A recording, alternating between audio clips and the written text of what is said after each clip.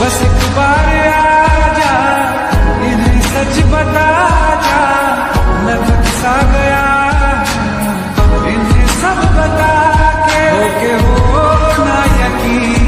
साथ अब हम नहीं, काश पहले ना मिला होता।